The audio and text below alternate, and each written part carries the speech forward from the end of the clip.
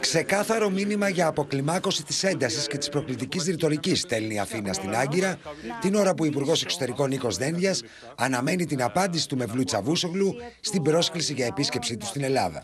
Η Ελλάδα επιθυμεί την αποκλιμάκωση και την ειρηνική συνύπαρξη με την Τουρκία. Όμως η ειλικρίνεια και η αποφυγή προκλήσεων είναι απαραίτητο στοιχείο αυτής της προσπάθειας. Οι πληροφορίες στέλνουν τον Τούρκο Υπουργό Εξωτερικών να έρχεται στην Αθήνα στα τέλη Μαΐου. Σε κάθε περίπτωση πάντως η ελληνική πλευρά καθιστά σαφές ότι για να προχωρήσει ο διάλογος θα πρέπει η Τουρκία να επιδείξει συμπεριφορά που ταιριάζει σε μια σύμμαχο χώρα. Turkey has to comply with the rules, the rules being the force of international law, um, the uh, uh, notion of good neighborly relations, and, and a certain rhetoric that does not border on belligerent and hostile, but is more low-key and, and, and, and, and friendly.